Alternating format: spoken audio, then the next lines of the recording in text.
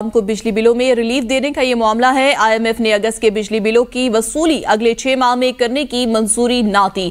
IMF बिजली के बिलों में आवाम को रिलीफ देने पर गौर करेगी। बिजली के बिलों में रिलीफ के मामले पर आईएमएफ ने वक्त मांग लिया है। मसीह जानते हैं, ब्यूरो चीफ इस्लामाबाद खालिद जमील से। जी खालिद जमील, आगाह कीजिएगा। मुल्क भर में जारी एहतजाज को मद्देनजर रखते हुए कौन सी तजावीज जेर गौर हैं?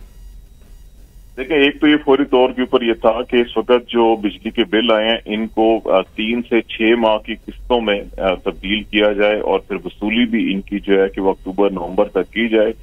लेकिन इसमें मजबूरी ये थी कि आईएमएफ के साथ कमिटमेंट्स जो की गई थी वो उसमें फिर वो पूरी ना होती। तो इसलिए जो इस वक्त निगरान वज़ीर खजाना है, उन्होंने आई एम आईएमएफ हुकाम से रबता किया और इस सूरत हाल से आगाह किया।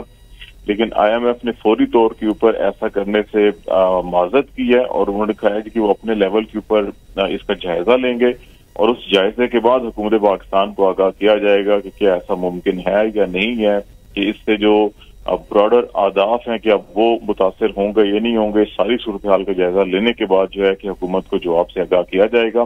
तो फ़िलहाल ये मामला तो जो है, वो अभी इल्तवा में पड़ गया है। अब इसके अलावा हुकूमत के पास सरदस्त जो है कि वो कोई ऐसी कंक्रीट सॉलिड तजावीज नहीं है।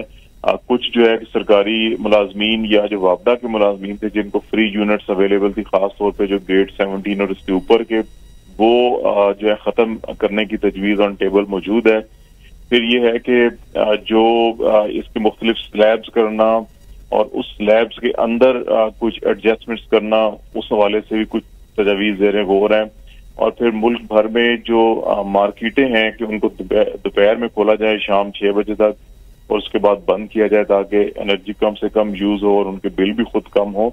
लेकिन जो मेजर इशू था कि जिसमें कैपेसिटी पेमेंट का, वो अपनी जगह पे कायम है। इसी तरह से जो रिकवरेबल अमाउंट्स हैं, जो 2.5 ट्रिलियन है, वो अपनी जगह कायम है, क्योंकि इसमें एजेके की और सूबाई हुकूमतें, वफाकी हुकूमत की अपनी डिफ़ॉल्ट अमाउंट है। वो अभी तक पे नहीं हो रही। तो इसमें सिर्फ़ जो है कि वो टैक्सों में रिलीफ भी नहीं दिया जा सकता, जिससे आपके टैक्स रेवेन्यू के सारे आदाफ मुतासर हो रहे हैं। एक यही इशू था कि जिसको मुख्तलिफ़ किस्तें की जाए, लेकिन उसमें भी अभी आईएमएफ की मंजूरी जो है कि वो नहीं हुई तो इसलिए अभी आईएमएफ की मंजूरी का इंतज़ार किया जाएगा, जैसे ही जवाब मिलेगा। उसके बाद फिर कोई अनाउंसमेंट की जाएगी। जी, बहुत शुक्रिया खालिद जबील आगाह करने के लिए।